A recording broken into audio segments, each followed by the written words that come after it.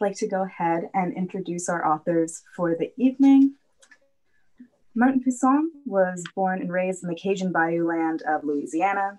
His novel, Black Sheep Boy, A Novel in Stories, won the PEN Center USA Fiction Award and the National Endowment for the Arts Fellowship, and it was featured on NPR's The Reading Life and as a Los Angeles Times literary pick, and as a Book Riot's must read indie press book.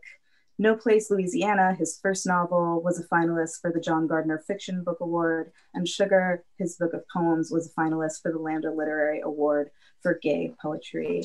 He is a professor of creative writing and queer studies at Cal State Northridge. It's my pleasure to welcome Martin Pousson.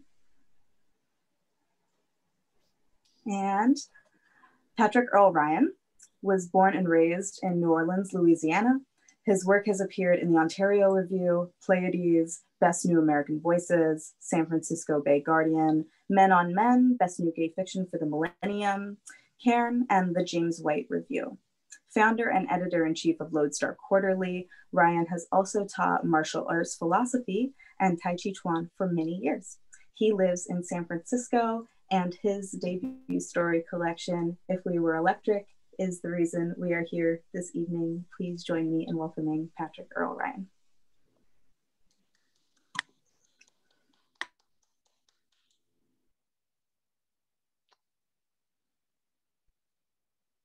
I think we're on. Do we start Thank talking you. now? I think Is so. It... We're on now. All right. How are you making, Patrick? I am making just fine, just fine. Okay. Um, you know it's been quite an experience. what was that? I said, because you know that's how we say it in New Orleans. how you make it? So you were saying well, yeah. It's been quite an experience. Tell me more. Uh, just you know, the the pandemic has been uh, has has given me a, a publishing experience that I wasn't quite expecting for my debut novel. So it's been a challenge, but it's also been, I think, um, a little bit interesting in, in the sense that everything is is virtual now. So I, I wasn't expecting to have to to do everything on Zoom, and so yeah, it's been it's been fun. It's been a learning experience. It's been a challenge. It's been um, it requires a bit of flexibility. Yeah, but uh, but we're making it work. You from New Orleans? That's what we do. We make it work, right? And and a debut is a debut is a debut, right? And I, uh, as I said to you in an email, I'd rather trade places with you. I think it's an exciting moment to be right here at the start of your publishing career. And it's a thrilling book. Congratulations on the Flannery O'Connor Prize. That is extraordinary. Thank and you. are welcome. Very well deserved. Uh, as you probably know, uh, we have a couple of dirty jokes about Flannery uh, in Southern Louisiana. Um, often we riff on the title of her most famous story, A Good a good man is hard to find. So it's a hard man is good to find, right? and that's that's probably what Evie thought in Before Las Blancas. Uh, uh, uh, I want to quickly, so I really do want to just throw um, all the praise I can on you. I think it's a riveting uh, collection. It's an exciting story. And even though Many of them were written um, as long ago as late 90s and the early aughts. It feels utterly contemporary. You know, I feel like time has collapsed in this collection, and it's remarkable that you achieve that effect. And we may talk about that a little bit. Uh, I want to quickly off to the side say to anyone uh, listening and watching now, um, merci beaucoup to CAR. Uh, I want to let you all know that CSUN, California State University of Northridge, would not have a Pride Center were it not for Carr, who in 2010 came to me and said, We have no safe space on this large campus of 30,000 students. Carr fought for two years against all odds, including the administration, the provost, and the president, until finally in 2012, that late, but we finally did get a safe space at Pride Center at CSUN. And I remind those students every time I visit that place that CAR was at the forefront of that effort. So uh, thanks, CAR. Um, so uh, Patrick, um, what's your mom and daddy name? And can your mama make a root? I, um, well, I'm named after my mom and my dad both. So I was the last of five sons. And so I was named Patrick after my mom, Patricia, and my middle name is Earl, which was my dad's name. Um, I'm the their fifth child, although I am my dad's eighth child because my dad was married six times. so um, so uh, yeah, I, I, turned out exactly the way I should um, because of that history. Um, so let's see, you, you said uh, a roux. Yeah, you know, my mom can make a pretty good roux, but I have to say, I think I make a better roux than my mama. Ooh, that's dangerous talk now. all right. um, now, um, we know this because we're from Southern Louisiana, right? Um, but neither one of us are actually white, as in American white, Anglo white, right? Um, mm-hmm. I'm Cajun, you're Creole. Uh, for those who don't know, would you tell us a little something about Creole, being Creole? What is that? Sure. Um, yeah, that's great. Um, so a lot of people actually think that Cajun and Creole are basically the same thing, mm-hmm. um, which is not the case for those of you who don't know that. Um, although I do have a bit of Cajun blood in me. So on my mom's side of the family, uh, Acadians, uh, the from Quebec came down in the uh, mid 1700s, uh, went to Plaquemines Parish. So on my mom's side, I do have some of that blood. My dad's side, what he used to call uh, a Heinz 57 background um, is basically uh, five different continents that my blood is from.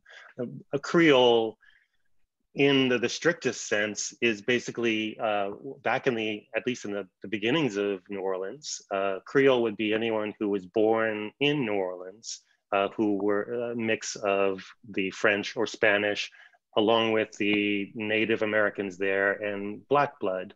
Um, and so uh, there's that mixture that's important for to be considered Creole.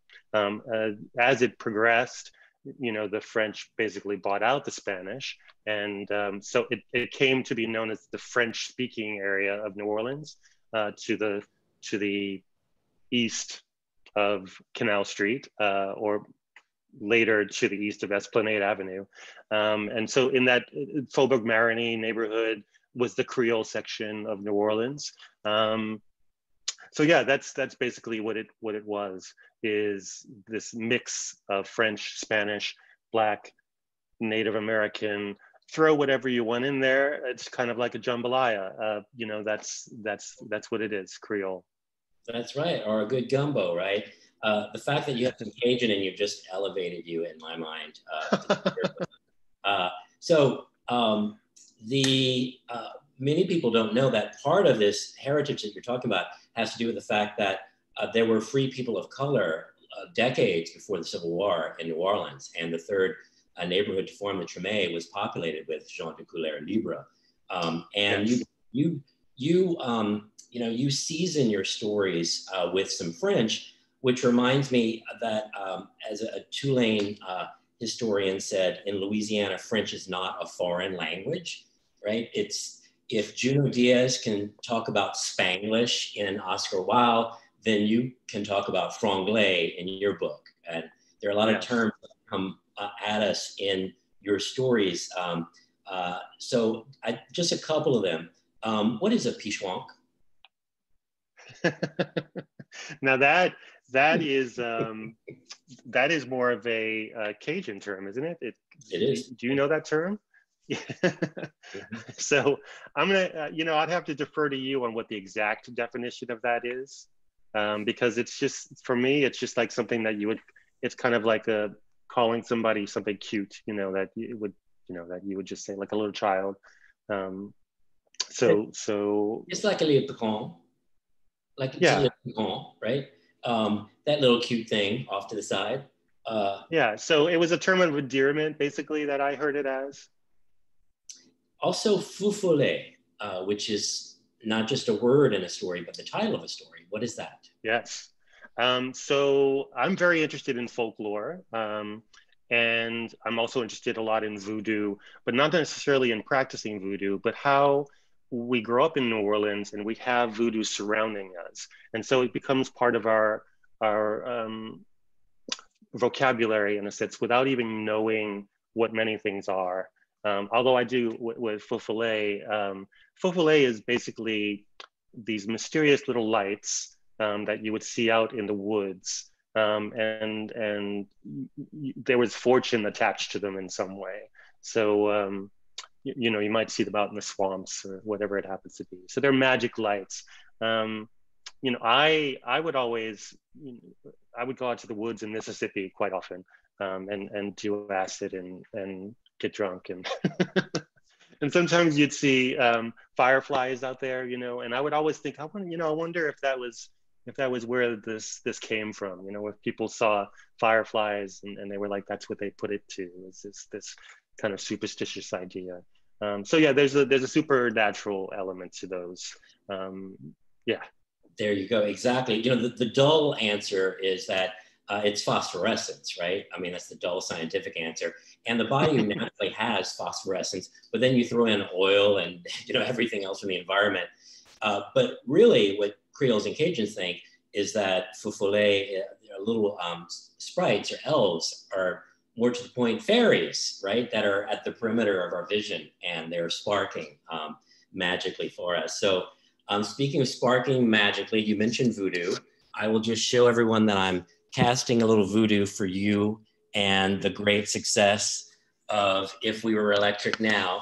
And to further add to the voodoo, I'm hoping you might be willing to read a little something uh, to give us a, a, taste, a little flavor of the book.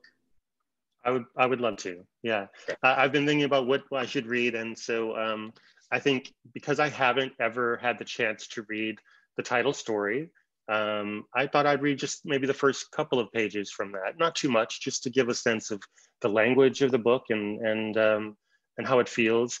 Um, Carr had mentioned earlier that it's uh, you know the, the, great autumn or fall read uh, or a book to buy, but I really think of of the book as a summer book. You know, I think that there's so much heat in the book, um, and this is a good example of that. You know, there's thunderstorms throughout, um, humidity, all of that, that that kind of gives a good sense of New Orleans. So I'll read a little bit of that. Um, this is the title story, If We Were Electric. It's by the Royal Street Grocery, walking in warm and fat rain, when I first see the boy named Mark. He'll take away more than one thing in my life. How many times had I walked this exact street wishing for something similar? I'm spending the day looking for books in the back of my mind, I'm looking for men. I'm still a virgin at 21. He waits on top of a blue city garbage can, long legs beating against metal, drinking straw hung from his bottom lip. He's looking for men too. A man, a French sailor with short legs and full uniform, struts out of the grocery's white swinging doors, and Mark, although I don't know his name yet, is vying for attention. He keeps the sailor within hungry eyes, enough for me to recognize lust and begin to possess, possess it myself. A low shake inside the gut when he opens his legs wider, pulls his red shorts away from skin, revealing the bare white of his inner thigh. He's pure grit, but the sailor is daydreaming of other things. Nines, a woman in Paris, his ship. I'm counting money or pretending I am, my head down, even while my eyes are up. If I keep walking, I won't talk to him. If I stop, then I'll be at a loss for words. We are both adolescents in some respects, lacking adult candor, but it will work itself out, I decide. It's a must do. Out of the nickels and quarters, he is a blooming face, fierce eyes, lips that could bite back, and scar above his right cheek, rising out of my palm. I'm in love with him like this. Here, while I'm wishing, the sailor pulls an umbrella from the grocery bag and opens it. Then off he dashes down Royal Street. Mark, the still nameless conspiracy of bumbling limbs that he is, lops down from the top of the garbage can more gracefully than I ever could, and stands a monument in the middle of the sidewalk, gazing at the sailor one final time, a departing blue figure in misty rainfall. Women and men pass and bump the boy out of their way. I walk up behind him, and the dark haired, randy boy who will be Mark turns to me, pulls the straw out of his mouth, and smiles, big white teeth everywhere. Don't worry, I'm used to this kind of weather, he tells me, and just as quick turns and follows his oblivious sailor. I'll stop there. I'm so glad you read that part because it's so hot, right? It's you talk about heat uh, and temperature, but also just so sensual, and so much of the writing is incredibly sensual. Uh, uh, I, you know, in thinking about the book as a whole, I was imagining as it would be taught, someone might think of these stories as experimental, but I don't think they're experimental because if they're experiments, they succeed brilliantly, and I don't think of it as experimental so much as you know unconventional. But then it's only unconventional if we think about American storytelling, which is you know based on rationalist, Calvinist, Protestant, uh, you know, um, problem solution axes, right? These stories often work that way, and, but yours don't, right? They run counter that. Um, the stories are almost inevitably fragmented.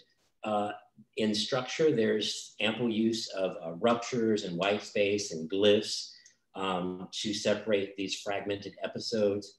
Um, yet the collection holds together as exactly that. It's a collective experience of a myriad of characters through an expansive time, but with a coherent voice and a coherent purpose. Um, the boundaries in this book I thought were interesting because they're not about boundaries of state or city or parish or race um, so much as they are uh, boundaries of, uh, and they're not even boundaries of the body, but they're boundaries of the mind.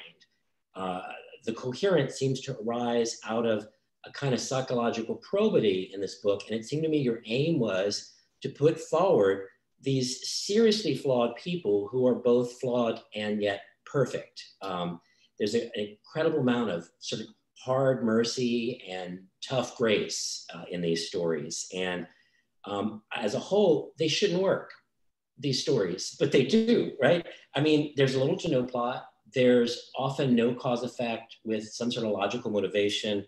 There's often no clear antagonist unless it's a hurricane. Uh, the stories are not interlocking. They don't share a narrator. There's no single protagonist or point of view. Um, they don't always share a theme. But, but they always share a setting. In one way or another, um, the stories arise out of, escape from, or return to New Orleans. So it ends up being almost like a travel log, um, which seems like ideal for our readers who are trapped in their homes right now, right? And they want to get out and they want to go somewhere new and utterly different. And that's what you offer, Patrick. It's it's utterly distinct. It's utterly New Orleans. It's redolent with the place. So I wanted to know, um, as a seventh generation New Orleanian, was this your strategy? Did you decide I'm writing a whole collection that will be interconnected in one way only, New Orleans? Or is New Orleans just that bitch that commanded you to write only about her? Which is it? I would have a hard time separating those two because I think they're both true.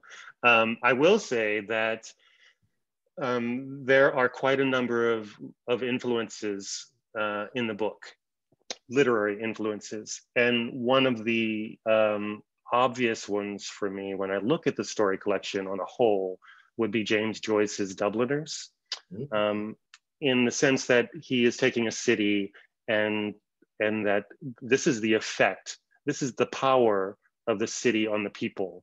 Um, and so for me, this was also what I wanted to convey in the book, that there is a power of New Orleans uh, that it, it, exerts upon its citizens. So even when you have a narrator say in, I wouldn't say no, who is in London, uh, there is this magnetism that is pulling him back to New Orleans, that it won't let you go. It's, you know, it's a, it's, it's the swamp, right? This the swamp is dragging you down into its mud, into its dirt. Um, and that that was important for me to convey that because personally, it was difficult for me to get out of New Orleans. Um, even though now I just want to go right back, it's this draw and pull and and and push that that keeps happening. Um, so yes, I think that New Orleans itself is what spoke, or shouldn't say spoke, but yelled for me to write this um, and to write it in that way. Uh, New Orleans is the connection between each of these stories, and, or at least the vicinity of New Orleans. They don't all take place like Feu Follet is outside of New Orleans, but but it is the connection between them. And the title itself, if we were electric, kind of, you know, there's a little bit of that where that is what's connecting everything. It's just electricity that the city itself has that pulls everything together, um, that connects it and keeps it connected. Um, yeah. Your, your adoration for the place is, you know, intoxicating um, and utterly seductive, and yet you live in San Francisco. Do you, mm-hmm. do you think that distance is part of what you know infuses and empowers your storytelling about a place in which you don't currently live. I think that it, it is you know i all of the stories were written outside of new orleans. So they, they were written once i had come to california once i'd come to san francisco. Um, in a way they are representative of my yearning for new orleans. They were a way of me possessing the city without being able to live there. I would live there. I would love to live there. But you know, life brings us into different places and we just have to do what we can to, to get by, to live. Um, it's, a, it's a difficult city in the sense of, of bearing the weather. um, so, so in that way, I think that this was my way of, of remaining a New Orleanian. Um, because I do have a deep love for the city. And I do go back. I haven't been able to go back this year, but I, I in the past, I would go back every year. And it was important for me to go back and touch New Orleans every year because I think that it refuels me to a certain degree. Um, you know, when I go back, I, I've, I've spoken about this before that I'm, I'm kind of an introvert, which is odd for a New Orleanian, you know, to be an introvert. Um, but I think it's because I'm out here, because every time I go back to New Orleans, as soon as I step foot off the airplane, as soon as I get into a cab or an Uber, I'm completely an extrovert again. And, and my voice comes back and I just, I'm in love with the city um, and, and it comes out and it just comes out of all my pores. Um, did I get off point? no, no, no, you're right on point. I mean, what you're saying is they speak the language, right? We, we, we share a language and um, like a couple of coons, when we were first introduced to each other via email, we had to root around in each other's garbage, and we discovered that we near, we near missed each other, right? In New Orleans, in Lafayette, but also in San Francisco by just a couple of years. Yeah. Uh, but uh, back to New Orleans, because really that's where we always want to get to. Um, I, I thought another, there are a lot of surprises in this, in this collection.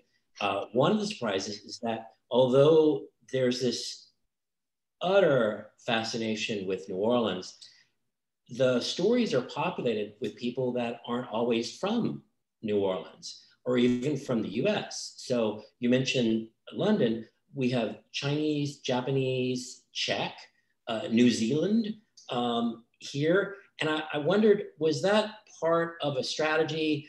You know, New Orleans is often thought of as like the the sine qua non of regionalism and parochialism, like that's all you know, right? But anyone who knows New Orleans knows that it's incredibly international and it once vied with New York for you know, capital, European capital of the West. So were you trying to sort of push against that parochial view of the city by, you know, purposefully populating your stories with people who were from other places or other backgrounds yes. and nationalities? Yeah.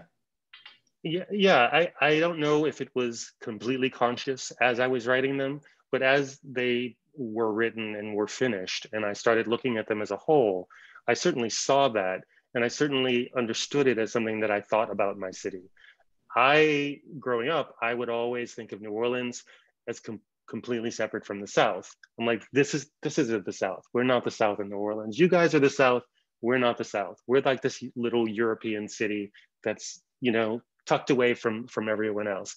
You know, if you look at even just um, voting records, right, uh, how people vote in Louisiana, you have the entire state basically red, but then you have New Orleans and it's blue.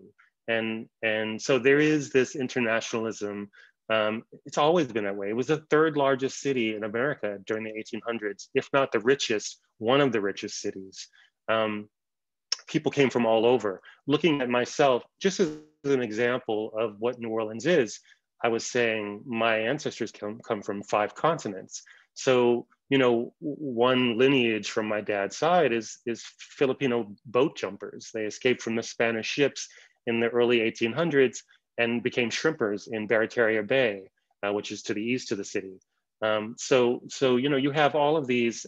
Um, another example is, you know, I, I, have four brothers. They're all straight, um, and one one of my brothers um, married a Cambodian uh, immigrant who came to uh, New Orleans in the early 70s. She was a refugee. Um, there's also a large Vietnamese community in New Orleans East as well. So I grew up seeing Asians everywhere. They were close to my family, close to the culture. Um, you, you, know, it wasn't anything strange to see people from all over the world in New Orleans. And I think that makes it different than the rest of the South. At least I always felt that it made it different than the rest of the South. That, that, uh, you know, I, nothing was a surprise to me yeah, that streetcar always seemed to have a great um, desegregating effect on the city, right? You know, uh, uh, you know, first uh, city in the U.S. with an opera house, first apartment building, first public bar, and some even say first public gay bar with the original Lafitte's. Um, yes, that's true. right? But I'm glad you mentioned your straight brothers because one of the many surprises in this book is that although um, the book is mostly homosocial, concerned with men and boys mostly behaving badly, but it's not homosexual, not explicitly. I mean, there's a big embrace here of you know all masculinity, liminal masculinity, and otherwise. And uh, readers might be surprised, for example, to know that the story that is most most explicitly concerned with HIV/AIDS uh, features a straight character who has HIV AIDS. Uh, and so um, I, I thought it interesting to go back and look at the beginnings of the stories, and all but two of them work along these lines. This is the first sentence for the most part. Men, uh, we have the very first full phrase really is I could smell him. Then, so I punched him square in the nose. During his nighttime walk, he believed. My brother's ghost. I'm in love with Kent. Uh, three men lived in the last house. He wasn't the sort to keep secrets. I first see the boy named Mark. I haven't told you about my real brother. And finally, he expected a thunder's mighty rumble. So when I look back and looked at the collection as a whole, I started wondering about, you know, in addition to, you know, making the stories populated with this international view of the city, were you also trying to really, you know, hone in and focus on what it means to be male and masculine in a place like New Orleans, which is completely distinct from being male and masculine in the rest of the country. I, in this sense, in this particular question, I would say that this is reflective of my own personal history. Um, so, growing up with four brothers, no sisters, um, my father and my mother, my mother was my only feminine uh, role model, my only feminine connection. I, I went to a Catholic school for grammar school and for high school. My high school was all boys. Uh, so my connection with the world was through a masculine lens. Um, you know, that, that was what I experienced. I, I didn't have close friends who were female. Um, you know, I, I, have friends now who accuse me of being afraid of women, which I'm not. You know, I mean, I, I think that that uh, it's just one of those things where what, who you have around you becomes the friends that you have. Um, so, so in that sense, I think part of it is personal experience, and that's why it's so focused on the masculine, um, because that is, if anything, this collection represents a particular decade for me. and that decade was obsessed with masculinity, obsessed with men. You know, the crushes that I had, um, my family. You know, these are these are all things that are present in in in those men that are in the stories. They are, yeah, they're based on on either real people or on versions of real people. And the I should make clear that your your your book has such a wide embrace that women are there. It's just that you know men are the anchor and men are the, the protagonists invariably. But the book does start with a boy trying to leave his mother, and then it ends with a man trying to, in one way or another, return to his female lover. Uh, and so it was an interesting arc there. And I've often thought about the fact that our culture really is almost more matriarchal than it is patriarchal. And you know the seat of power so i wonder if that's why sometimes we feel contested you know in our gender roles. Um, it's a fascinating part of the book uh, and i admired it. I also really admired um, the superstructure because again in a book that doesn't have more of the obvious uh, uh, interlocking interconnected points um, you had to have, it's evident that you really thought about how to arrange and sequence it all so that it would have a totalizing effect. And I, I, when I reached the end and we had the mandatory evacuation in a story whose title is Tempest, right, an approaching hurricane, it led me to go back to the beginning. And when I looked at Before Las Blancas, I saw, okay, you've got two men or a man and a boy who are driving down hurricane evacuation route, right, a road away from New Orleans. That's where it starts. But then it ends with one man answering a call of a woman and thinking and pondering how long to New Orleans by canoe or by foot. And of course, I thought of Fats Domino's walking to New Orleans there. Uh, but right, that's how it starts and it ends. And you've got in the beginning, you know, fat mosquitoes and singing locusts and the Atchafalaya swamp. And then in the end, you've got this overgrown flooded swamp you know, and, you know, sea foam. Um, it starts with the smell of semen. It ends with the sight of blood. Um, so it seems. Well, I don't necessarily say it's semen. No, no, but I figured that out on my own, right?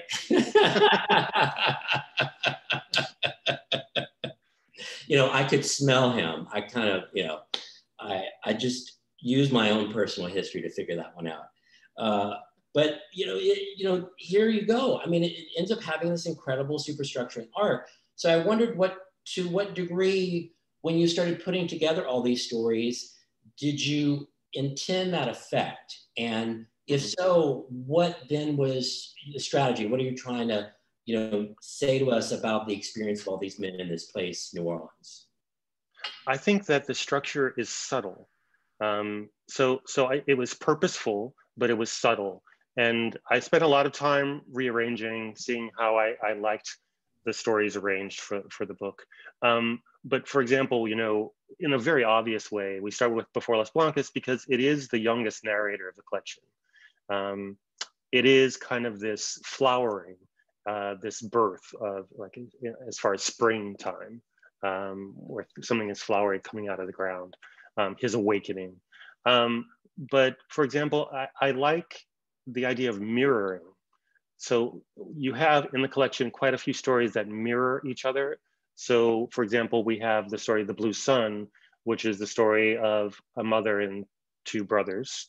Um, and then later we have Where It Takes Us, which says, oh, this is the story of my real brother. You know, I haven't told you about my real brother. So it's almost as if the narrator of the entire collection is saying, oh, I'm a storyteller. I was telling you a fib before, but this is the real version. And of course, neither is the actual real version, but but that there's these connections that mirror each other in that way.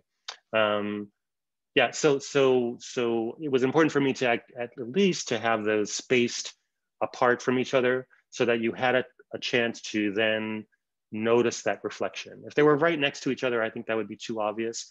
I want that I want that to come to the reader in a more natural way rather than it being just kind of pushed into their face. Um, I'm trying to think of, of other examples. Uh, I, my mind is getting old, but but now and then ca cars are very important throughout the entire collection. So you'll see that cars actually come up again and again through each story.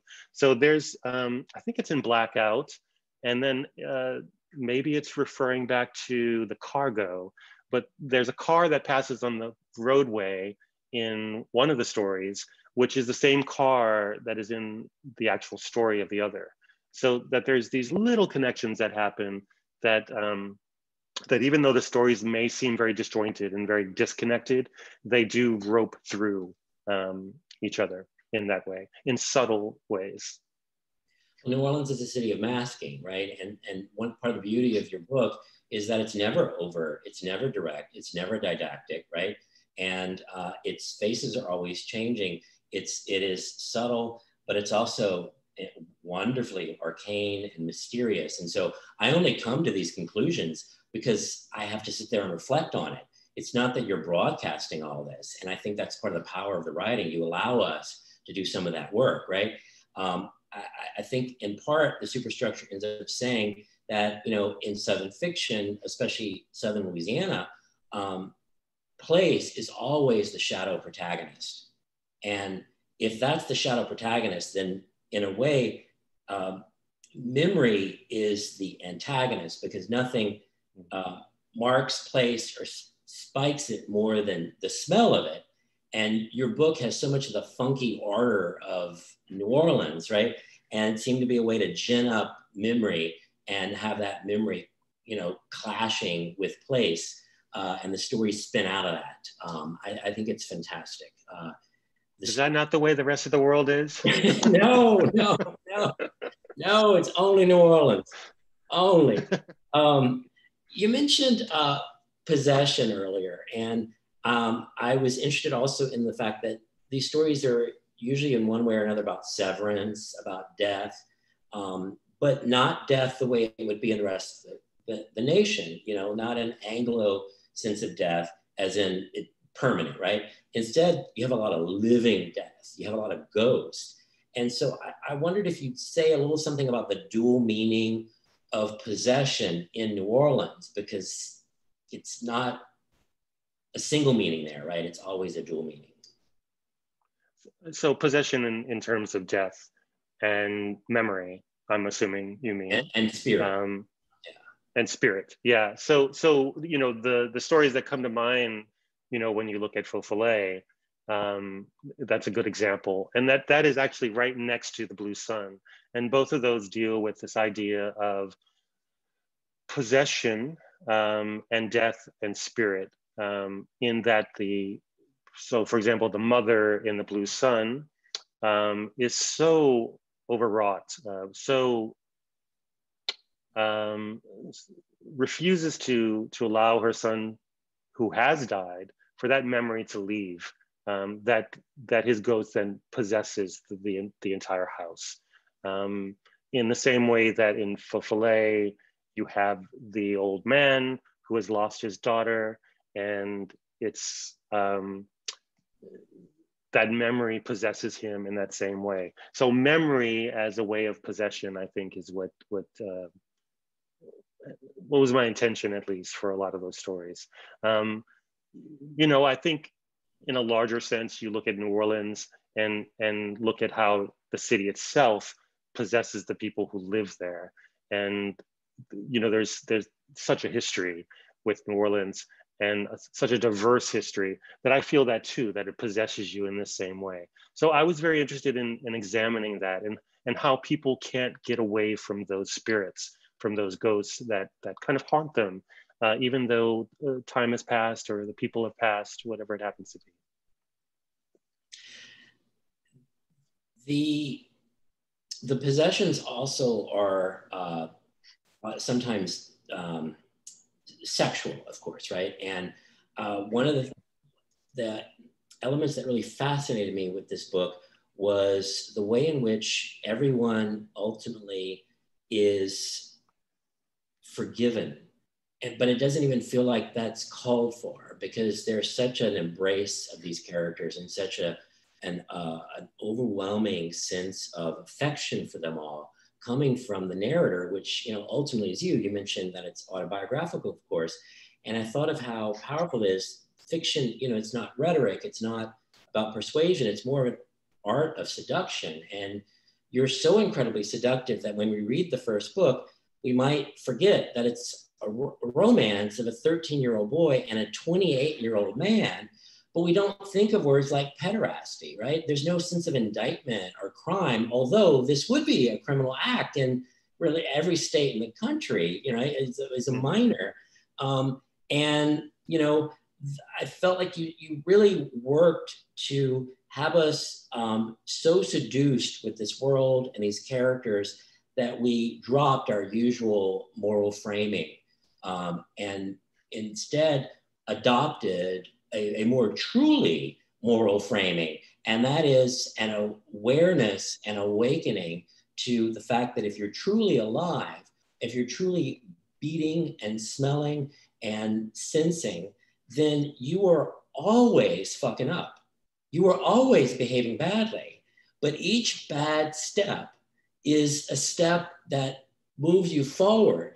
And that in this book, we're always moving forward ultimately to grace. There's always fufule. There's always light at the end in your stories. Uh, the plots are sinewy. Um, they're forked like all the little um, uh, waterways around New Orleans. But there's often this burst, like, you know, uh, the coronary system. And there are passages even that's, that have um, the, the fierce, the familiar grip of a tender heart, right? And I felt like that's, that's the ultimate triumph of this book that um, through all of the murk and mud uh, and the mystery of New Orleans, at the end, what you really deliver is an incredibly light, powerful, and majestic sense of what it means to be human in a place as topsy turvy as New Orleans. And right now in this country, we're all living in a topsy turvy place. And so mm-hmm. you really offer all of us this chance at, you know, redemption. And you're always forgiven. Yes. Right. That's forgiven. that sense of always being forgiven. You know, it's it's a tricky business when you're dealing with, say, pedophilia. Um, and I think that would be a completely different story, of course, if it was told from Neil's point of view. But what is the what is the important viewpoint in that story is that it's coming from Evie's point of view.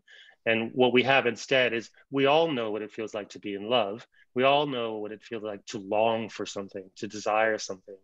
Um, so it just it, it keeps its bearings by focusing on those emotions that he's having um, that desire that he's having. And desire, of course, is something that goes throughout the entire book.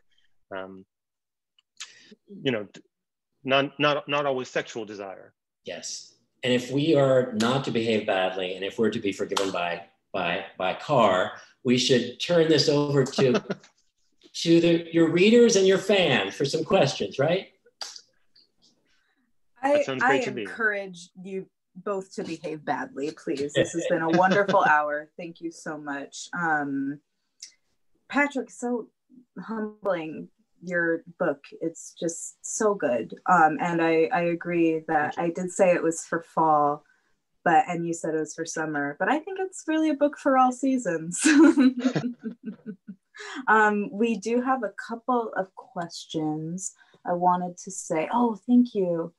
Thanks, folks. Great questions. Um, I would be remiss if I didn't mention very briefly that uh, I would not be the queer person I am today or a writer today uh, without the presence of Martin Pousson in my life and for his earnest care um, for his students and uh, for his humanity. That's a truth. So let's see. Uh, well, Aaron has a comment here that just says, This is good. I agree, Aaron. Uh, then Mike asks, Patrick, at the end of Cargo, did you get much pushback about the point of view shift in its final paragraphs when it was originally published? So the Cargo is an interesting story um, because it didn't always end the way that it ends in the book. Um, so initially there was a point of view change where we switch from um, the point of view we have for the entire story, um, you know, the, the young boy in that story, and we switch to the wedding singer at the end. Uh, what changed was I didn't want to switch the point of view. So it's interesting that they're saying that there's a point of view switch. Um, was it Mike? Is that the person who asked the question? Uh, Mike Kiggins. Yes. Okay. So um, so at the end, what my intention was uh, was that this is um, reincarnation. So that what mm-hmm. happens at the end there is actually the boy dies, but then there's a rebirth, and he is born and he sees the lights of of uh, the hospital room, and he's taken into his mother's arms, um, and that's kind of felt felt like a much it, it, felt more in line with the rest of the book. So that idea of forgiveness and that idea of redemption mm-hmm. comes through a little bit more clearly in that way for the for the for the that particular story because that's a rough story. You know, there's a lot of violence in that story, and I'm very interested in that sort of. Um, I think it's because of my because of Flannery O'Connor actually that that that sort of we can even look at a good man is hard to find, which was an influence on the cargo, as well as a, another Paul Bowles story that uh, is about two uncles that are traveling through the desert with their nephew and they get murdered by another tribe of Arabs. And then the boy is actually um, castrated and then his penis is put into his stomach. Um, uh, it's, it's, that's Paul Bowles. I guess he was smoking a lot of pot at the time. Um, but, but that the cargo actually kind of is playing off of both of those stories. And, and instead of having it be say with Flannery O'Connor, you have this sort of idea of judgment at the end. I wanted that idea of redemption instead and forgiveness at the end, something light, the light coming through. Yeah. Mm. Thank you. Um, have a question here. It's exciting. This is from Matt Carney, who's also a former Green Appler. Uh, Hi, Martin, former 1718 member here only reading series to get rated by New Orleans ABC. And you certainly changed my life by putting me in touch with Press Street. Patrick, I know you were involved with 14 Hills at um, San Francisco State, for those who aren't familiar, and I'm sure you've done the same for plenty of students in San Francisco. Could you both talk more about how being involved in these projects and students uh, balances with, informs, distracts from your work? Uh, sure, I can talk a little bit about that. When I was at SF State, um, so not only was I an editor for 14 Hills, um, but I also started a reading series there for queer writers called Queer hmm. Words, which ran most of the time that I was actually at State, where I brought in a lot of, um, you would have uh, teachers who were queer as well as students who were queer, and it gave them that, that chance to actually read together um, so that you had an event where you would have a mix of people who've been in the profession for many years and people who were just starting to write. And so it gave them that platform where you'd have more of an audience than you might have had otherwise.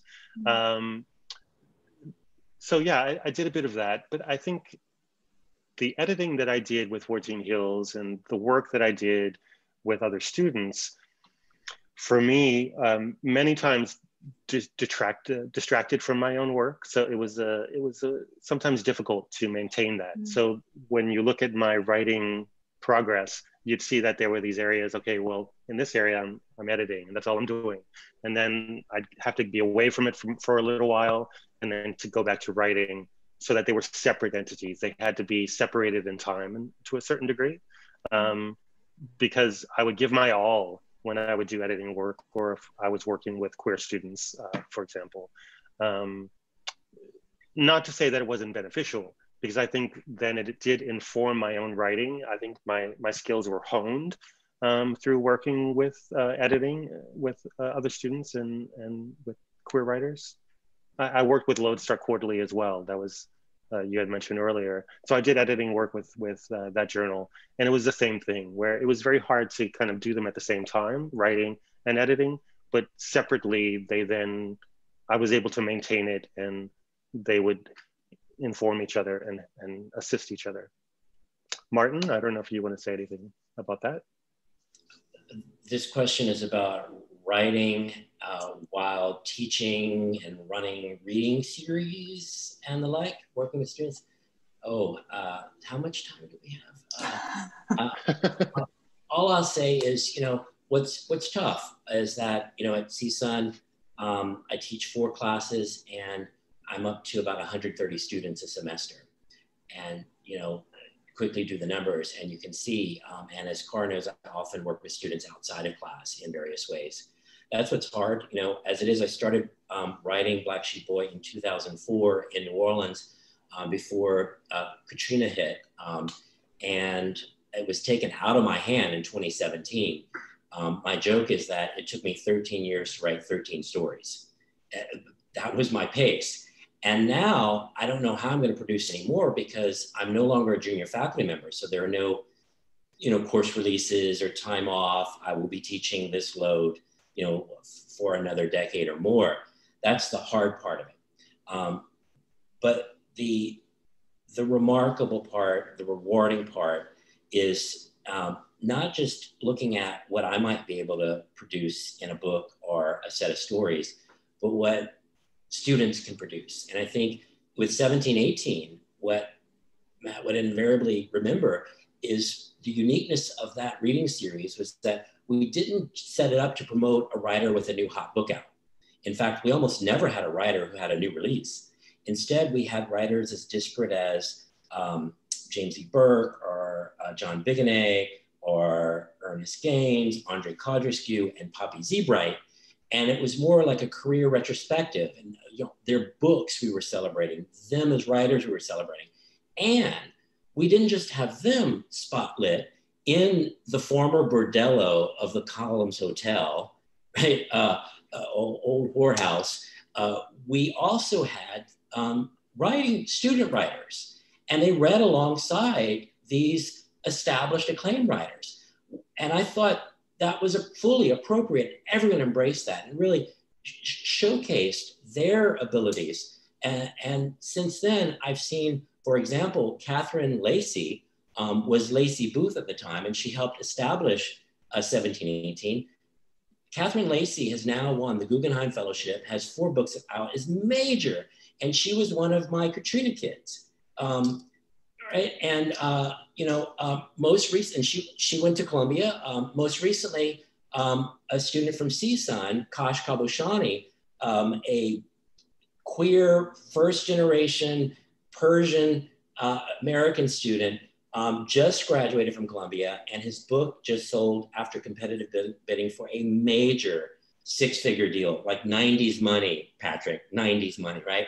Also sold to uh, uh, press in uh, England being adapted to a film. And these are just like two of the high points. I have so many students who are doing great work out in the world. If it's not publishing books, it's running bookstores, uh, book series, working as editors, uh, uh, uh, and, and community activists as well. And so that's the great reward in the end is to realize, I think part of what Patrick says in his book, If We Were Electric, that we really are. And ultimately, we are the stories we tell ourselves. So whether I'm writing a story that's going to be published or whether my students are, you know, and, and in the end, it's one and the same to me because, mm. you know, it is a series of electric charges and one way or another, we're all speaking in union. And so that's what it's like to me to teach and write simultaneously. Beautiful. Thank you. Thank you both. Um, one more question. Uh, there's this is about the design of the of the book patrick of the mm-hmm. cover of your book and oh, yeah. what's what's so interesting about um that so this is at is it st roch in new orleans st roch cemetery that's the mm-hmm. chapel of prosthetics at saint mm-hmm. roch cemetery that is also yeah. uh, coincidentally where my dad and my grandparents are buried at st roch cemetery wow. which the the person who designed the book did not know that they found this photograph and it was just kind of, oh, what do you think of this? And it came up and um, I was like, wow, you realize what you've just done? so yeah, my, my, uh, my dad and my grandparents are buried at that cemetery. Yeah.